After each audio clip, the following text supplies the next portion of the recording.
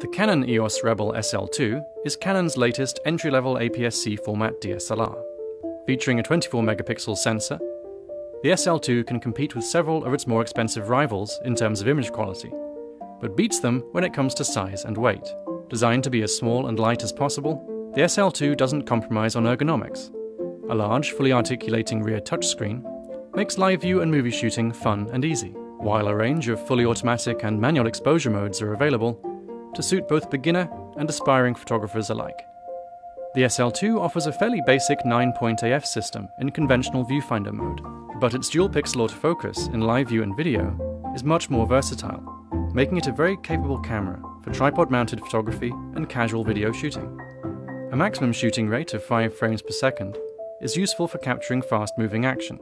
Built in Wi Fi with NFC and Bluetooth is available for remote control and image transfer to a smart device.